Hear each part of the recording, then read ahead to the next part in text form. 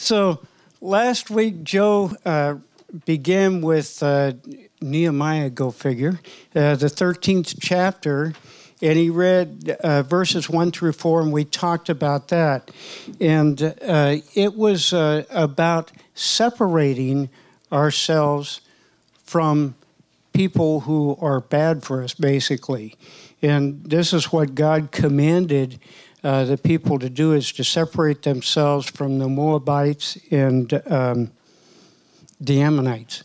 And so, uh, actually, if, if uh, they read, uh, if you look at verse 1, uh, they read from the book of Moses and they read about the history of the Ammonites and the Moabites and uh, how they had actually tried to put a curse on Israel and uh, so they fought against Israel. And so now we're going to scoot down to the fifth chapter, or the fifth verse, sorry, thank you. And, uh, well, we're going to go back up to the fourth. Now, prior to this, Eliashib the priest, who was a, appointed over the chambers of the house of our God, being related to Tobiah, had prepared a large room for him where formerly they put the grain offerings, the frankincense, the utensils, and the tithes of grain, wine, and oil prescribed for the Levites, the singers, and the gatekeepers, and the contributions for the priest. But during all this time, I was not in Jerusalem, for in the 32nd year of Artaxerxes, king of Babylon, I had gone to the king. After some time, however, I asked leave from the king. And I came to Jerusalem and learned about the evil that Eliashib had done for Tobiah by preparing a room for him in the courts of the house of God. It was very displeasing to me, so I threw all of Tobiah's household goods out of the room. Then I gave an order, and they cleansed the rooms and I returned there the utensils of the house of God with the grain offerings and the frankincense. So, in the first verse, we're reading about the fact that we're supposed to separate ourselves from the Ammonites and the Moabites. And here, Eliashib, who actually is not just a priest, he is the high priest, has gone directly against God's word First of all, nobody should have been in uh, living in, in those rooms. Those rooms were dedicated to being filled with with uh, offerings that were brought into the temple. But instead, not only did he use them as living quarters, but for somebody that specifically was not even to step foot into the temple. And so this is why, and, and what uh, this is why uh, Nehemiah was so incensed by this and threw all of Tobiah's stuff out. So let's start with our introduction. Today we're going to take a look at Nehemiah 13, 4 through 9 we find that Nehemiah had returned to Persia, and because of a lack of leadership, the temple was being misused. We're going to take a look at how our bodies relate to the temple and how we are expected to keep the temple holy. 1 Corinthians tells us that our bodies are the temple of the Holy Spirit. It tells us that we don't belong to ourselves, but we have been purchased by the blood of Jesus. It tells us that because of this, we should honor God with our bodies. We have a tendency to think that our body belongs to us, which gives us the right to defile it. But if we realize that our bodies are not our own, but the temple of the Holy Spirit, then we will understand that keeping our bodies pure isn't an option, but a requirement by God. We're not to defile our bodies by what we put into them in the way of food or drink, but also what we expose them to physically, mentally, and spiritually. We are to keep them pure, and if we defile them, we need to purify them. So we're going to go ahead and we're going to look at at basically the purpose of the temple. Now you think about it, and and we're going to compare because we are the temple of the Holy Spirit. The purpose of this temple. And basically, the temple was created to bring people together. The temple by itself is of, of little value, but it was to bring the people to the temple so that they could have fellowship with God. And this temple was created to have fellowship with God. That's our purpose, that's our reasoning. And so um, it talks about uh, number one purpose of the temple being for the people to bring their offerings in. And uh, if actually, if you read about in Matthew 23 23, this is Jesus speaking, and he's actually chiding the Pharisees for, uh, for doing the right things by bringing in the offerings of, of uh, grain and uh, spices and so on, but not doing other things that he should that they should be doing. It also talks about tithing there, and Jesus said that he, you should tithe. So there's there's a couple of different things there. We see that that uh, they're supposed to bring in the offerings, they're supposed to bring in the tithes, but he's saying that there's more to it than that because basically what they should be doing is offering them their themselves as an offering to the Lord. In Malachi, we see once again about tithes that he actually, God asks, Will you rob me by not bringing tithes in? Because the, uh, they're to be brought into the storehouse for the ministering of the gospel and for the maintenance of it. And then in 1 Corinthians 12, it talks about the gifts of the Spirit. Now, why did I, I put that in there? Very simple, because that is another thing that needs to be offered. See, we, we basically, God wants us to willfully bring the things that we have, the resources we have, as an offering to Him with an attitude of praise and thanksgiving. So, using the gifts He's given us to serve Him and to serve others, that's an offering. See, that's that's using the temple for an offering. And when we give offerings, they're to be without spot or blemish. In other words, God doesn't want our leftovers. He wants our first fruits. He wants the best of us. His word tells us also that to whom much is given, much is required. So we're not just talking about okay, money and stuff like that. We're talking about what kind of gifts has God given us? What, what has He called us to do because He's given us gifts? And a gift needs to be given out, right? God brought it, gave us all different gifts so that we can minister to other people. It's not to keep for ourselves, but it's to give as an offering to God and to touch other people's lives. What gift has He given to you, and what is He asking you to do with it? If you don't actually have the answer to that, it would be something great for you to seek because he he wants us to do that and sometimes that changes i mean i'm at a new season in my life where i'm still going to be using the gifts god's given me but in a different way and so there are different seasons. So, um, forgive me for a minute, my computer's not cooperating with me. The next thing that the temple's used for is sacrifice.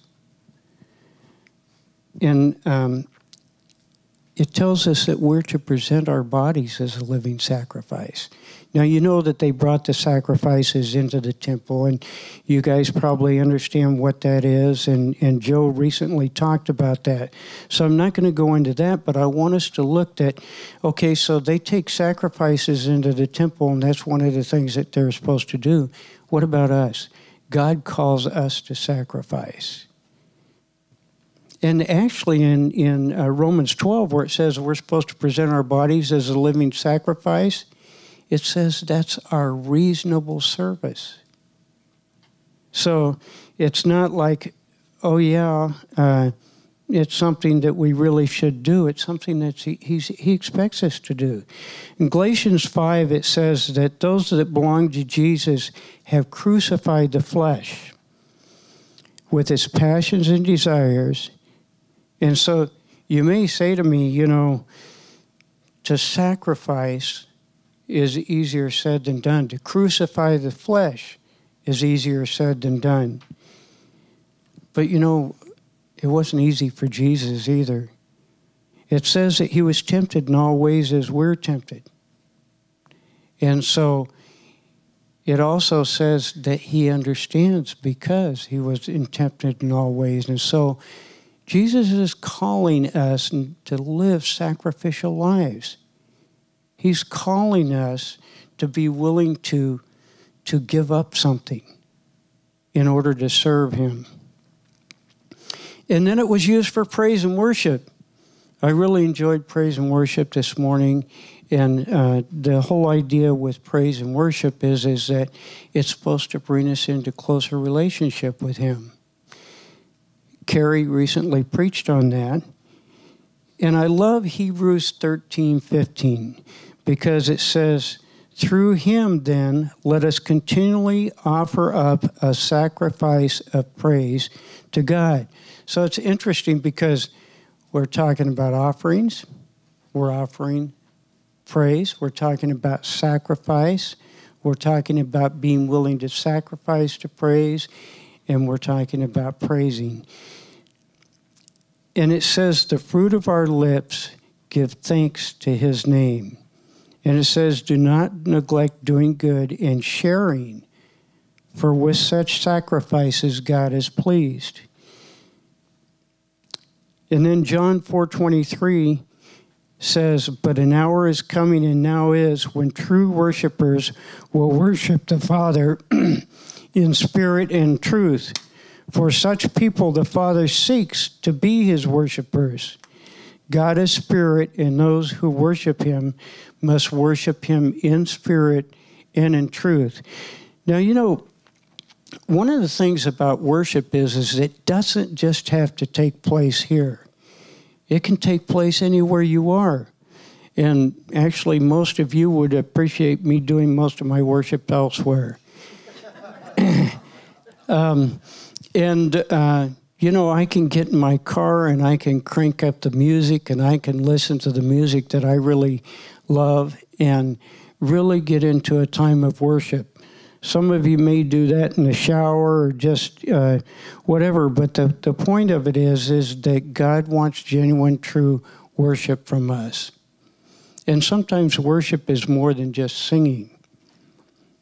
It's, it's we worship Him in, in how we love Him and how we appreciate Him. And as you know, praise and worship go hand in hand. And also, the temple was used for reading the word. You'll notice that in Nehemiah 13, it starts out with their reading the word. And so, why do you read the word? To know and understand God, to understand what He wants of us, to come closer to Him. And I love Psalm 119, and it says, How can a young man keep his way pure? by keeping it according to your word.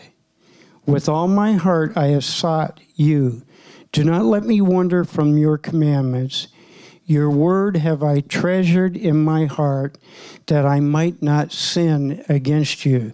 The King James Version says, Your word have I hidden in my heart that I can't sin against you. So you see that what happens is, is reading the word is not just so that we can hear the nice stories. Reading the word is so that we can take it and absorb it into our lives so that we can understand it. And you know, the thing of it is, is if we're going someplace and we have some temptation come to us, and I'll give you a great example of that. When Jesus was tempted by the devil, what did he say? It is written right? He quoted the word to the devil and he said, It's written. Okay, so if I'm tempted to do some kind of sin and I don't know that it's sin or I don't know what the word says about it, what defense do I have? Strength, my own human strength? It's not going to work. But if I've hidden His Word in my heart, it can protect me from that. It can be the source. You know, um, my wife amazes me because uh, she has trouble retaining the Word. We went to, but she reads the Word, and she's been reading the Word for over 40 years, and she consumes the Word when she reads it. And so we went to Africa to minister. it was an amazing experience. We saw over 127 women commit their lives to the Lord. But I saw her going around and quoting the word, the word that she thought she couldn't remember. And so what ha- what happened is is because she had studied it, God brought it to her remembrance. It was hidden in her heart. And so I want to encourage you to be readers of the word, to be hearers of the word, and to be doers of the word. And finally, the temple was for prayer. And God wants us to pray. First Thessalonians says, pray without ceasing. Now, and you know, you think about that and you say, well, I've got other things to do in my life. I can't pray 24 7. Well, that's not the point. The point is, is you're walking down the street and you see some homeless person. Why can't you say, Lord, please bless them? Is that a prayer? Yeah. What, what's the shortest prayer in the in the Bible? Yeah. And another very short prayer. Peter said it. Joe just referred to it basically. Jesus, help me and did he? What did Jesus stop and say, "Hey, wait a minute, you know that that prayer wasn't good enough, needs to be a little more flowery, you know." No, it was a sincere prayer. We we were miraculously spared from a car accident. We had uh, our Volkswagen bus crammed full of kids that we took from the hood that we lived in once upon a time to church. And there really is a miracle that this car didn't hit us. And as I saw it coming towards us, I'm being real spiritual. I'm sitting there and I'm saying, It's going to hit us. This is going to hurt. Kathy, what'd she say? One word Jesus. And it was almost like this miraculous thing, like this big angel just reached out and stopped that car. I mean, I saw absolutely no way why it couldn't hit us. And the, there was a woman in the driver's seat. We could see her face, and it, it was like alarmed. And she made the sign of the cross, and they drove off. Does God answer simple prayers? Yeah, yeah, He does. And so, um, Romans 12 says be devoted to prayer, and the King James Version says instant in prayer. That's an example of that. And then uh, corporately, uh, you know, the Bible says, whenever two or more are gathered in one place, there am I in the midst. It says, when two ask, that we receive. And I love God's phone number. Anybody know it? Jeremiah 33 3. It's never busy. He says, Call upon me, and I will answer you out of heaven and show you great and mighty things that you do not know. When we call upon God, He always answers. Now, I got to tell you, sometimes He doesn't answer the way we want Him to. I hate the word no. Sometimes God says no. Sometimes he says maybe. But God wants us to bring our offerings willfully and with an attitude of praise and thanksgiving.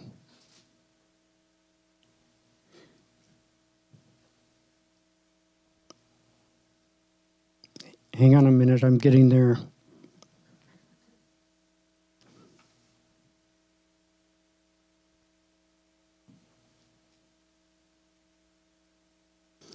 So we're going to take a look now at defiling the temple. That's, that's what had happened. That's what Nehemiah found when he came back to the temple. Now, actually, that was because of a lack of good leadership.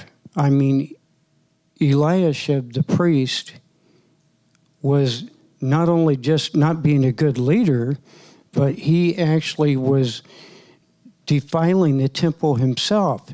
Now, Tobiah was a relative of his through marriage. But that's certainly no excuse because somebody is a relative of mine. Maybe, maybe somebody in my family marries a, a Muslim terrorist. Does that mean that I have to embrace them? No, not because that's what uh, Joe preached about last week. We are to separate ourselves from the enemy of enemies of God. So there are several ways that the temple that we see in the Bible uh, how the temple was defiled. One way is with the money changers. Now, the money changers were actually people that were inside the temple courts and they were making money. They were taking advantage of the people that came there to, to give offerings to the Lord. And when Jesus saw that, he was incensed. You remember, he made a whip and he cleared the temple because the temple of God was being used for an evil purpose, just like it was when Tobias uh, uh, when Tobiah was allowed to, to live in there. The other thing, when it comes to money, uh, we see uh, that Timothy says, the love of money is the root of all evil. Now, some people quote it as money is root of all evil. That's not true. God uses money. The love of money is the root of all evil. And so, how would that uh, be a, a, way that we could defile our temple here? We could be so devoted to, to making money that we have no time for the Lord or our family. That's, that's defiling this temple, in effect, because we're misusing it. What if we're um, addicted to gambling? Once again, that, that would be a defiling of, of the temple. And uh, so, anyway, the other thing that, that happened is, is, as we had read before, is that uh, the living quarters were defiled. They were defiled because Tobiah, the Ammonite, who no Ammonite should even be stepping foot in the temple, he was allowed to take up residence in there. Have we allowed something to take up residence in our temple that shouldn't be there? First Corinthians says, Or do you not know that your body is a temple of the Holy Spirit? who is in you, whom you have from God, and that you are not your own, for you have been bought with a price, and that price was Jesus. Therefore, glorify God in your body. Now, also, uh, you you read sometimes in the Bible about temple prostitutes. For some reason, people back in biblical times thought that having sex with prostitutes could bring you closer to the Lord. Now, there's no place in the scripture that it even comes close to that. And that actually was a a form of uh, demonic uh, worship. There were uh, there were different gods that you were supposed to get closer with when when you did this. The Bible tells us uh, don't be deceived. Neither fornicators, nor idolaters, nor adulterers, nor effeminate, nor homosexuals, nor thieves, nor the covetous, nor drunkards, nor revilers, nor swindlers will inherit the kingdom of God. And it says, Such were some of you. But you were washed, but you were sanctified but you were justified in the name of the Lord Jesus Christ and in the Spirit of our God. And so, if we are allowing any of those kind of things to take up residence in our temple, we're being warned about it. And it's a pretty severe warning. And today because we have all of the influences from out there. We're being influenced basically to water down the gospel. We're being influenced in the in the name of tolerance to to forsake our Christian values in effect. And if we don't, we're intolerant. Well, as for me, I'd rather be intolerant because I am going to continue to listen to the Lord, and I am going to continue to serve Him and, and believe that His statutes are my lifeblood.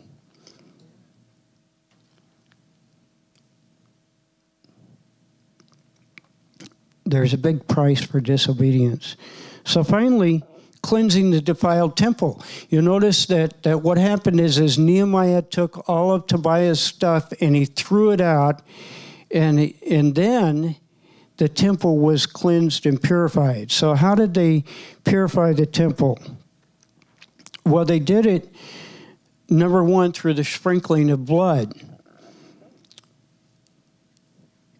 Now, Romans 5 tells us, But God demonstrates his own love towards us in that while we were yet sinners, Christ died for us. Now, actually, I've left out a lot not to not to make it um, too long, but if you want to read uh, Romans 5, 8, and 9, you'll see this. I, I think it's a great uh, scripture. While we're yet sinners, Christ died for us. More than having now having now been justified, but much more than having now been justified by his blood, we shall be saved from the wrath of God through him. So the sprinkling of blood was representative, and of course, they didn't know it at that time, but it was basically representative of the blood of Christ because through his blood we are washed, through his blood we are cleansed.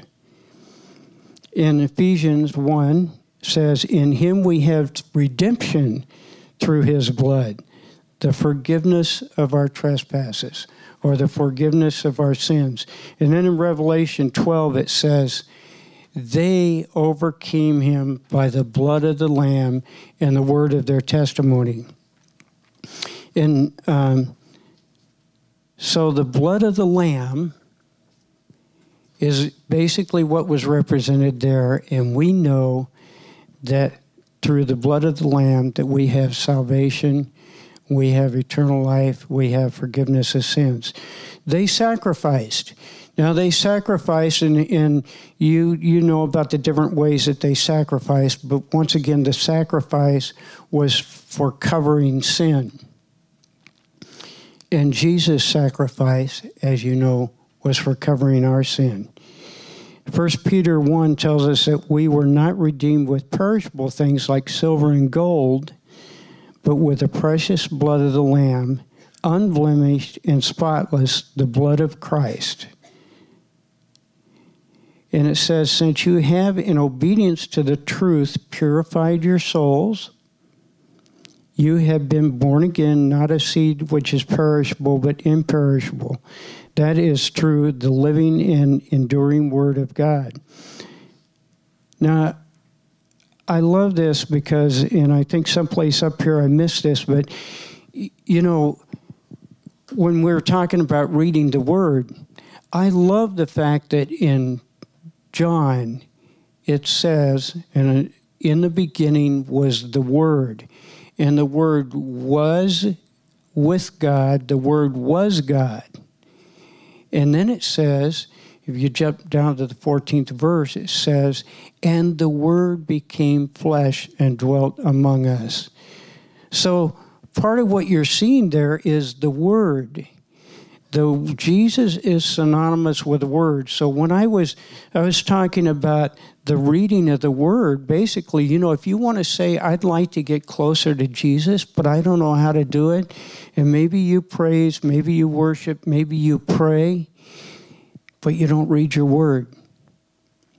If you're not reading your word, you're cheating yourself. You want to get closer to Him? Read your word because He is the Word. All through the New Testament, we see how Jesus is interchanged with the Word because he was is the word of God.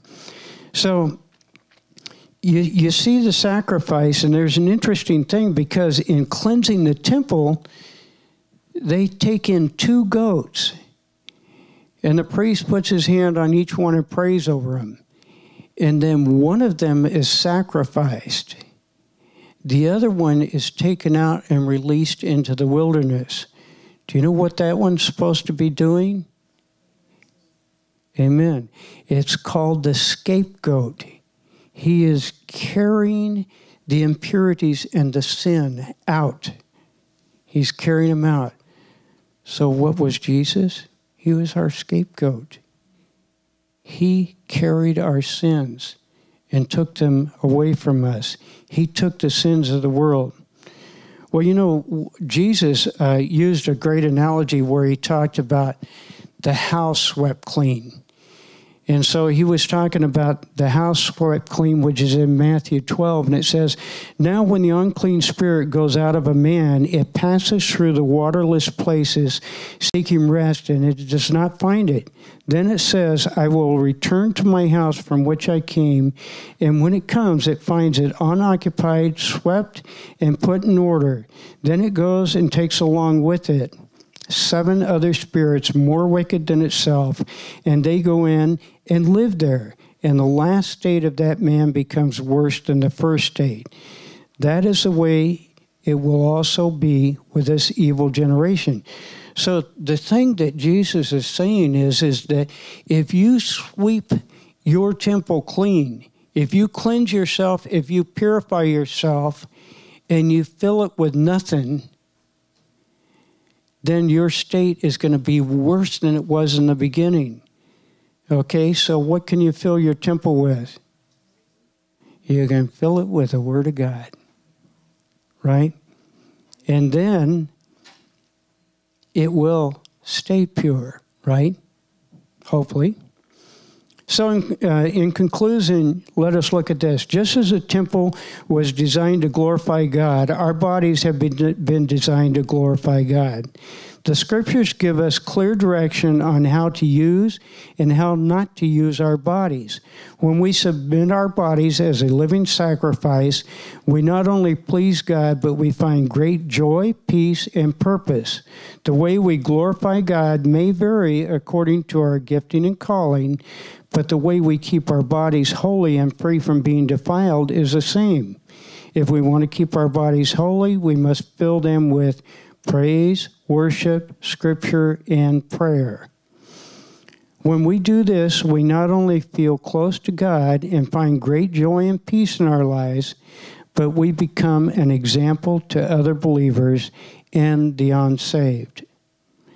They should be able to look at us and say, I want to be like that. As we leave here today, let us be committed to glorifying God by keeping our temple holy and dedicated to God. So, would you close your eyes for a minute? So, maybe as, as we've been talking, uh, you, you've been thinking about some things that, uh, um, gee, maybe there are some areas where I need to cleanse my temple a little bit. Maybe I need to just do some purifying. Maybe I need to spend more time praying. Maybe I need to spend more time in praise and worship. Maybe I need to spend more time reading my word. And so, um, if if that hit home with you today, then um, I'd, I'd like to ask you just right now to to give that to the Lord, to give Him if there are some things that you need to give up in your life. If your temple's been filled with some of the wrong things and you need to cleanse your temple, today would be a great day to do that. And we're going to be doing communion in just a minute here. And it would be a nice time to be able to do communion and say, I, uh, I've cleansed the temple. I've purified the temple. And I'm making a new commitment today Father, we we ask that you would forgive us for the ways that we have defiled the temple. You know what those are, and we know what those are. And so, Father, we ask today that you would help us to just recommit ourselves to cleansing and purifying our temple, to filling our temple with your Holy Spirit, to be overflowing with that, to fill it with praise and worship, to fill it with prayer, to fill it with, with your word, and to fill, fill it with dedication and glory to you. We ask, Father, that you would take our temples, our lives, Lord, and that you would use them to glorify you. You would use them to further your gospel. We ask, Lord, that.